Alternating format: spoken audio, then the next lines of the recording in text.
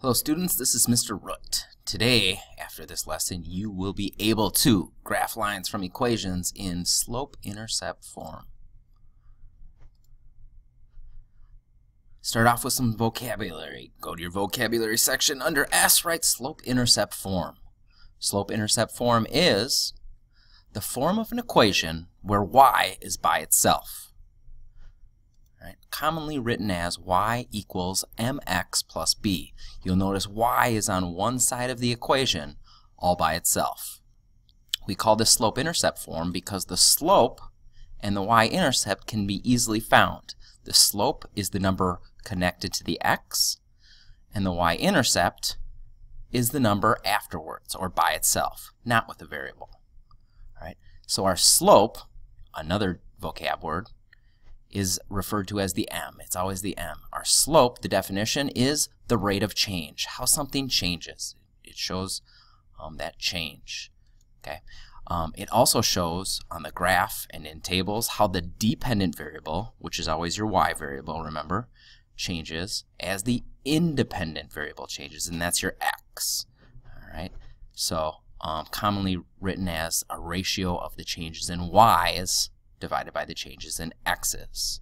Okay. Now, when we graph, we found out our y-axis goes up and down, and our x-axis goes laterally.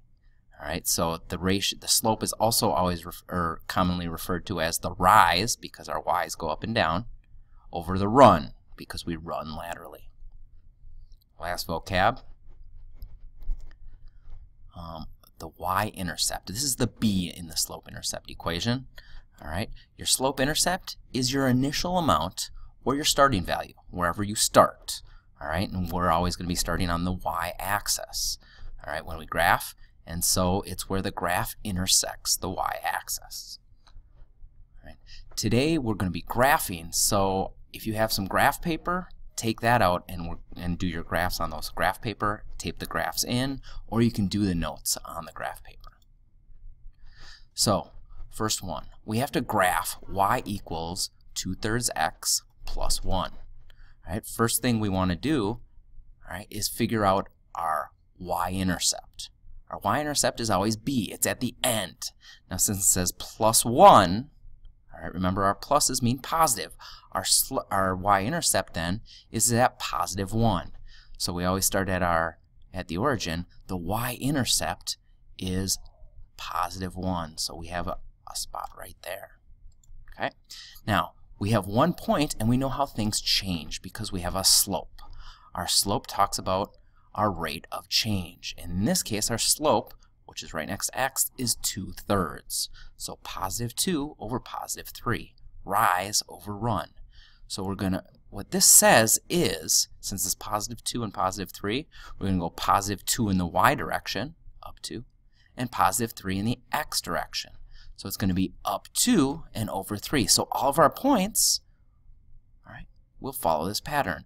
We're going to go from this point, we're going to go up 2 and over 3. And we always count the intersections. So we're going to go up 1 intersection, 2 intersections, over 3 intersections. And we got another point. Okay. Again, we're going to go up 1, 2 intersections, and over 1, 2, 3 so we have three points, but they're just in one area.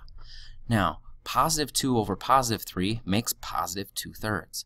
But we also know that negative divided by a negative will equal positive 2 thirds. All right, so in this case, we could also write the slope as negative 2 over negative 3.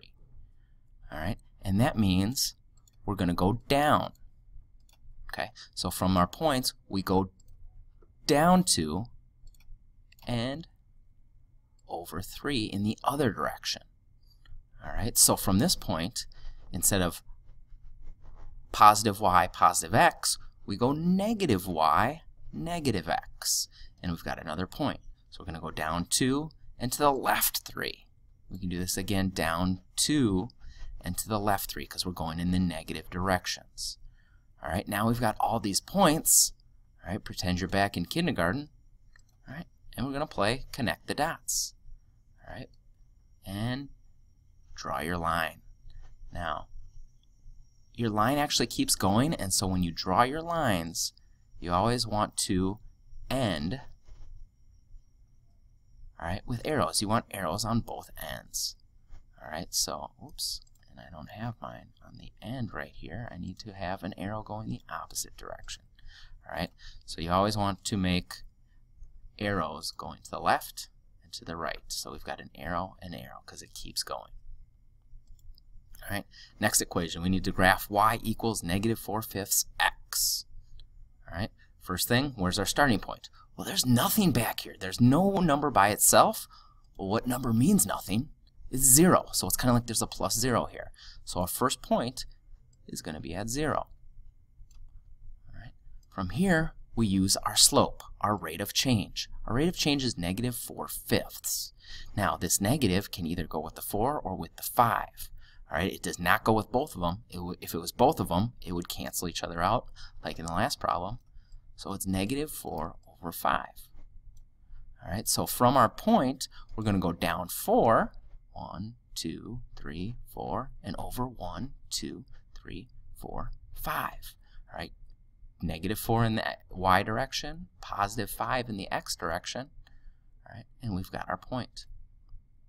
Okay, or we could go the other direction. We could put the negative with the 5. So it would be positive 4 over negative 5. Positive divided by a negative equals a whole negative.